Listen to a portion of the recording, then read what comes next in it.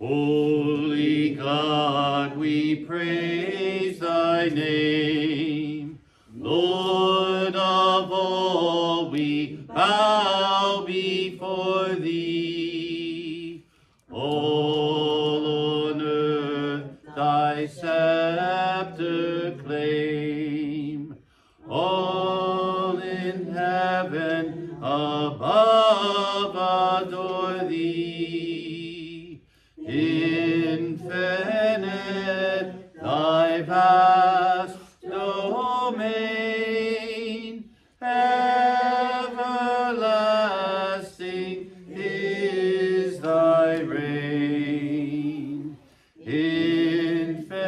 Infinite thy vast domain, everlasting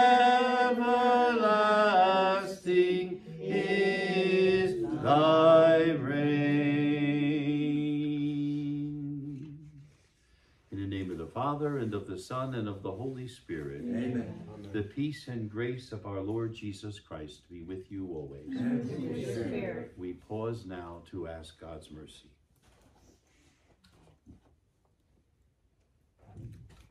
You were sent to heal the contrite.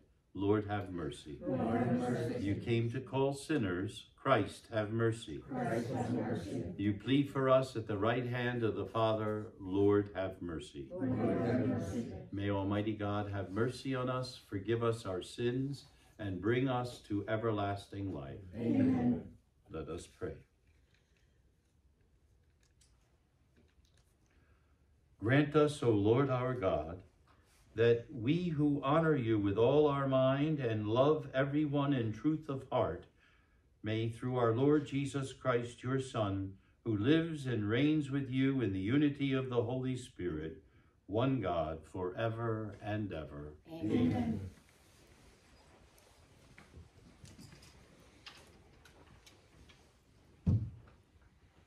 A reading from the second book of Samuel.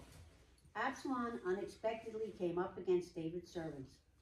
He was mounted on a mule, and as the mule passed under the branches of a large terebinth, his hair caught fast in the tree. He hung between heaven and earth, while the mule he had been riding ran off. Someone saw this and reported to Joab that he had seen Absalom hanging from a terebinth, and taking three pikes in hand, he thrust for the heart of Absalom, still hanging from the tree alive. Now David was sitting between the two gates, and a lookout went up to the roof of the gate above the city wall, where he looked about and saw a man running all alone. The lookout shouted to inform the king, who said, If he is alone, he has good news to report. The king said, Step aside and remain in attendance here. So he stepped aside and remained there. When the Cushite messenger came in, he said, Let my lord, the king, receive the good news that this day the Lord has taken your part, freeing you from the grasp of all who rebelled against you. But the king asked the Cushite, Is young Absalom safe? The Cushite replied, May the enemies of my lord, the king, and all who rebel against you with evil intent be as that young man. The king was shaken and went up to the room over the city gate to weep. He said as he wept, My son Absalom, my son, my son Absalom, if only I had died instead of you. Absalom, my son, my son. Joab was told that the king was weeping and mourning for Absalom, and that David's victory was turned into mourning for the whole army when they heard that the king was grieving for his son. The word of the Lord. Thanks be to God.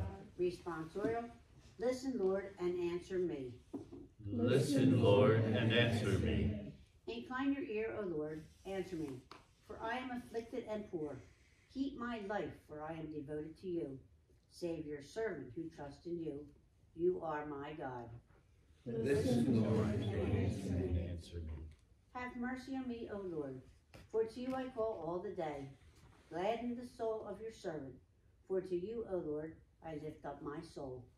Listen, Lord, and answer me. For you, O Lord, are good and forgiving, abounding in kindness to all who call upon you. Hearken, O Lord, to my prayer, and attend to the sound of my pleading.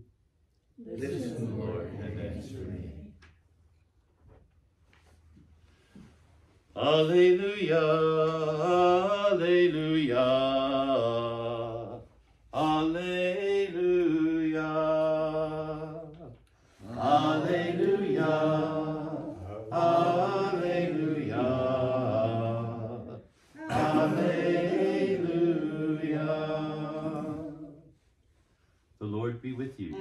A reading from the Holy Gospel according to Mark. To. When Jesus had crossed again in the boat to the other side, a large crowd gathered around him, and he stayed close to the sea. One of the synagogue officials, named Jairus, came forward, and seeing him, he fell at his feet and pleaded earnestly with him, saying, My daughter is at the point of death. Please come lay your hands on her, that she may get well and live. He went off with him, and a large crowd followed them. There were a, there was a woman afflicted with hemorrhages for twelve years. She had suffered greatly at the hands of many doctors, and had spent all that she had. Yet she had not helped, but she was not helped, but only grew worse. She had heard about Jesus and came up behind him in the crowd and touched his cloak.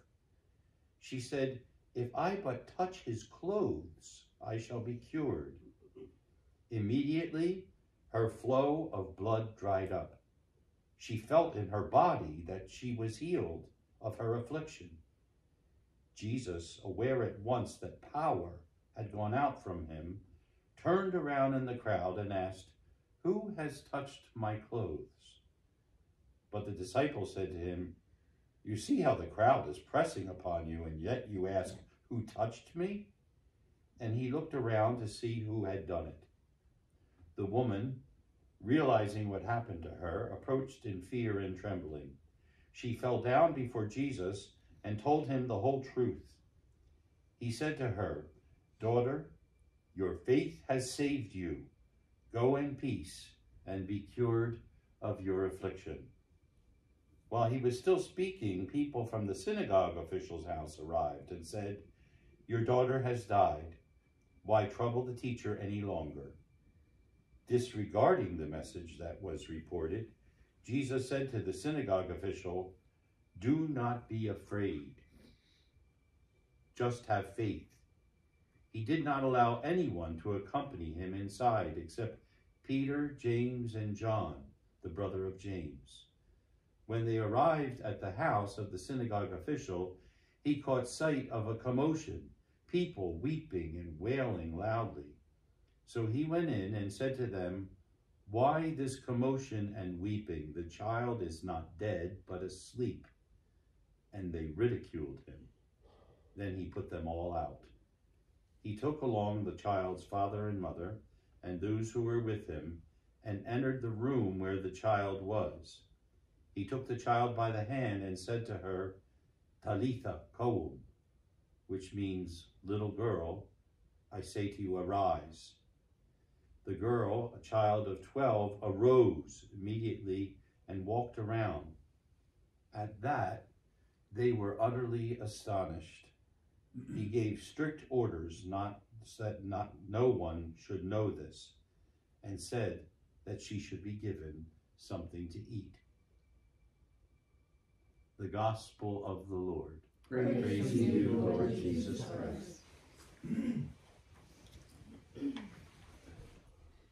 I think I hear that screeching you were talking about. Don't know what's going on in the church. There's a banshee loose or something.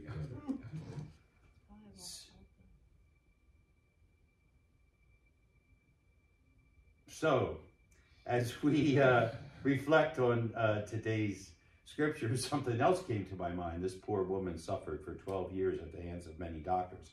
I hope they weren't at Riddle Hospital. Thank you, Mary and Rose. So, as we hear today's today's gospel uh, gospel hymn comes back to me. Um, Reach out and touch the hem of his garment, and his blood shall make you whole. There's sort of a kind of a, a, a play on words there because the woman reaches out and touches his garment and it says, His blood shall make you whole because it's speaking not just of her particular situation, but all of our situation. That is the blood of Christ that has made us whole. It is the blood of Christ that has cleansed us. The book of Revelation says that there were an uncountable number of people around the throne of God who had been saved, who were wearing white robes that were washed in the blood of the Lamb. Even that has a juxtaposition. How can something be made white by being cleansed in blood? Well, the blood of Christ cleanses our soul, and the garment we wear is just a reflection of our interior life. And our interior life is washed clean by the blood of the Lamb. All we need do is reach out and touch. I ask that we pray for all those today who suffer from chronic illnesses, illnesses that continue on for many years, like this poor woman who suffered for 12 years with hemorrhaging, that the Lord would touch them, that they would have the faith to reach out and touch him. Let us stand to pray.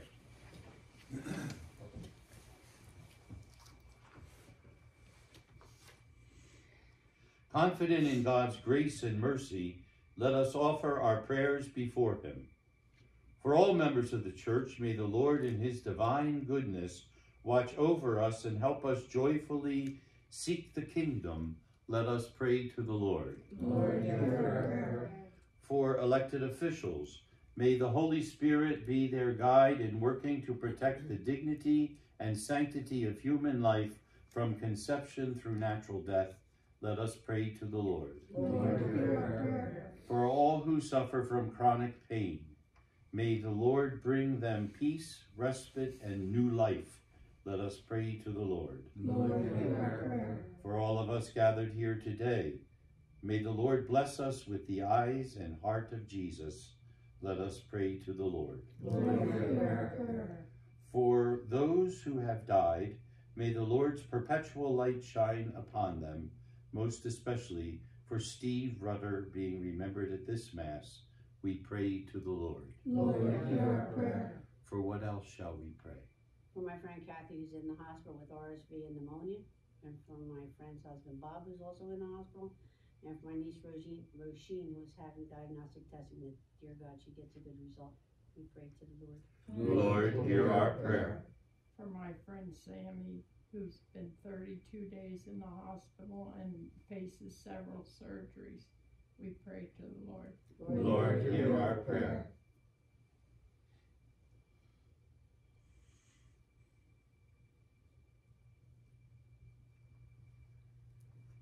Loving Father, we ask that you listen to the prayers before you and answer them according to your holy will.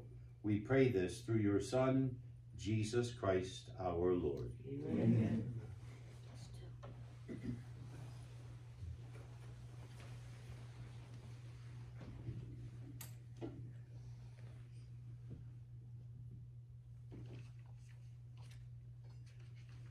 Blessed are you, Lord, God of all creation, for through your goodness we have received the bread we offer you, fruit of the earth, the work of human hands. It will become for us the bread of life.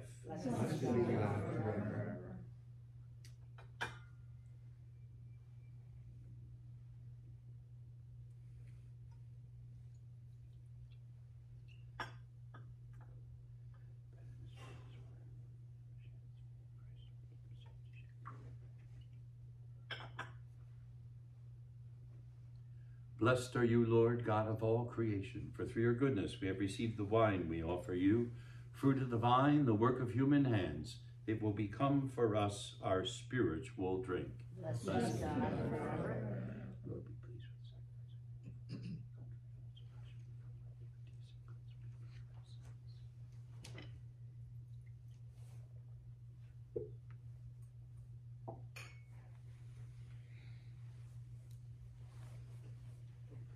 Pray, sisters and brothers, that my sacrifice and yours will be acceptable to God the Father Almighty. May The Lord accept the sacrifice at our hands, for the praise and glory of his name, for our good and good of all. Church. O Lord, we bring to your altar these offerings of our service. Be pleased to receive them, we pray, and transform them into the sacrament of our redemption through Christ our Lord. Amen. The Lord be with you. And with your spirit. Lift up your hearts. We lift them up to the Lord. Let us give thanks to the Lord our God. It is right and just. It is truly right and just, our duty and our salvation, always and everywhere to give you thanks, Lord, Holy Father, Almighty and eternal God. For in goodness you created us, and when we were justly condemned, in mercy you redeemed us through Jesus our Lord. Through him the angels praise your majesty, dominions adore, and powers tremble before you. Heaven and the virtues of heaven and the blessed seraphim worship together with exultation.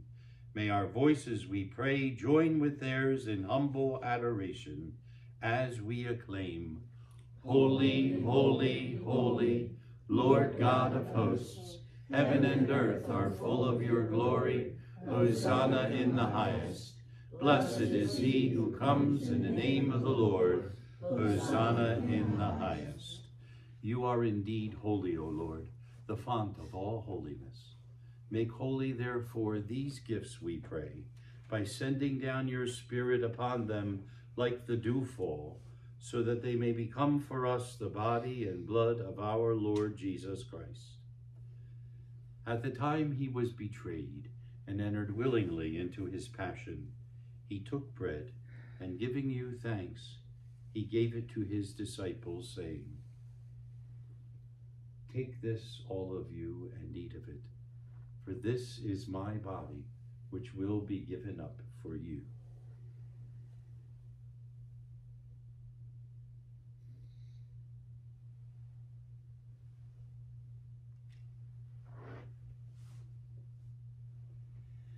In a similar way, when supper was ended, he took the chalice, and once more giving you thanks, he gave it to the, his disciples, saying, Take this, all of you, and drink from it. For this is the chalice of my blood, the blood of the new and eternal covenant, which will be poured out for you and for many for the forgiveness of sins. Do this in memory of me.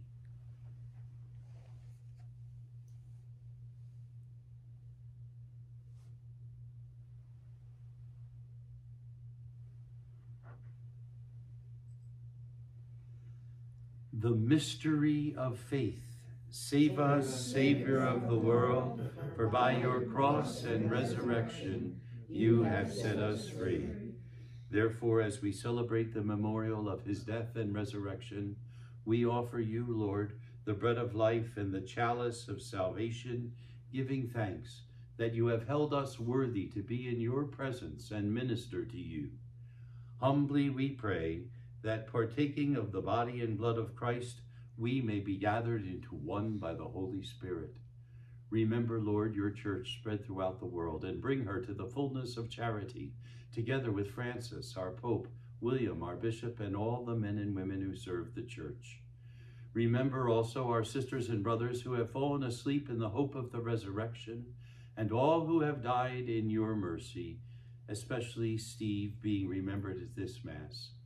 Welcome them into the light of your face. Have mercy on us all, we pray, that with the Blessed Virgin Mary, Mother of God, with Saint Joseph, her most chaste spouse, with the blessed apostles, and with all the saints who have pleased you throughout the ages, we may merit to be co-heirs to eternal life, and may praise and glorify you through your Son, Jesus Christ.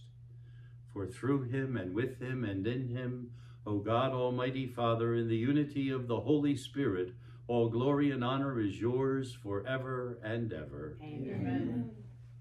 In confidence we pray now in the words our Savior taught. Our Father, who art in heaven, hallowed be thy name. Thy kingdom come, thy will be done, on earth as it is in heaven. Give us this day our daily bread, and forgive us our trespasses, as we forgive those who trespass against us. And lead us not into temptation, but deliver us from evil. Deliver us, Lord, we pray, from every evil.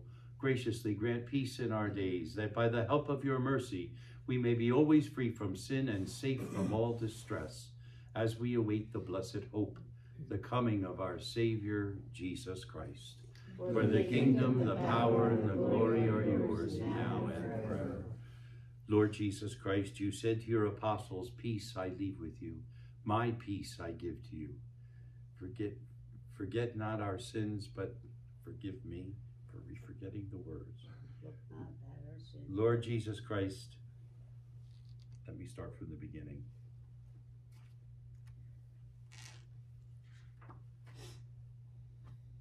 Lord Jesus Christ, who said to your apostles, Peace I leave with you, my peace I give you. Look not on our sins, but on the faith of your church, and generously grant our peace and unity in accordance with your will, who live and reign forever and ever. Amen. The peace of the Lord be with you always. Let us offer each other a sign of peace.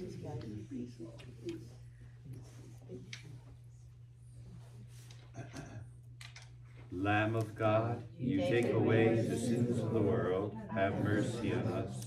Lamb of God, you take away the sins of the world, have mercy on us.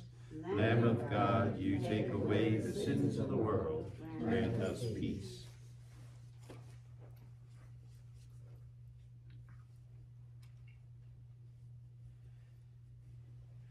Behold the Lamb of God. Behold him who takes away the sins of the world. Blessed are those who are called to the supper of the Lamb. Lord, I am not worthy that you should enter under my roof, but only say the word, and my soul shall be healed. Body and blood of Christ bring us all to everlasting life. Amen. The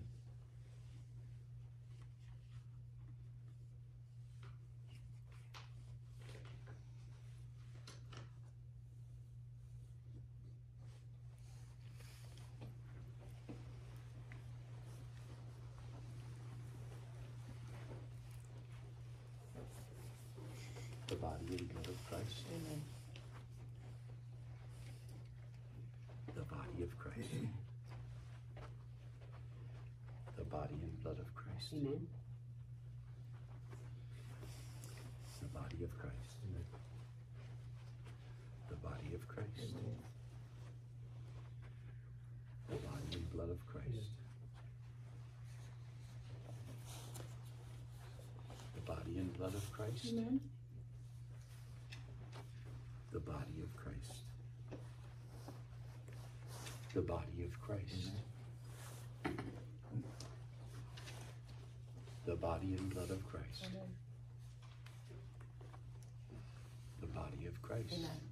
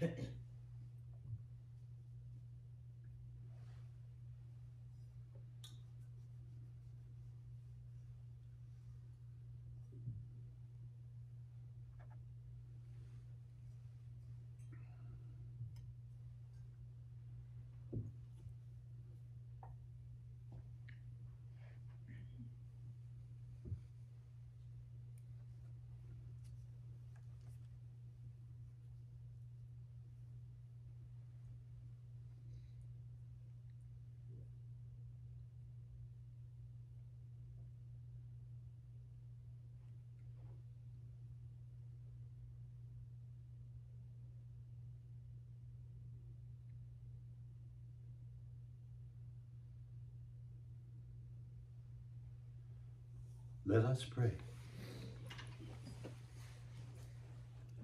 Nourished by these redeeming gifts, we pray, O Lord, that through the help to eternal salvation, through this help to eternal salvation, true faith may ever increase through Christ our Lord. Amen. The Lord be with you. And with your spirit. May Almighty God bless us, Father, Son, and Holy Spirit. Amen. Our Mass is ended. Let us go in peace. Thanks Thanks be be to to God. God. We'll sing the second verse of our hymn, which I believe begins with hark, right? Hark the loud celestial hymn, angel choirs above are raising, cherubim